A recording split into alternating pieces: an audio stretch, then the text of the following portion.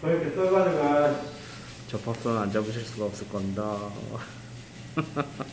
어 진짜 저도 그 접합선 안 하고 가려고 그랬는데 치려보니까 너무 뽕빨이 심해갖고 어쩔 수 없이 다 했어요. 근데 해도 안 잡힌 데는 안 잡히고 그래서 파악관리 그게 좀 심- 힘들던데 해보니까 와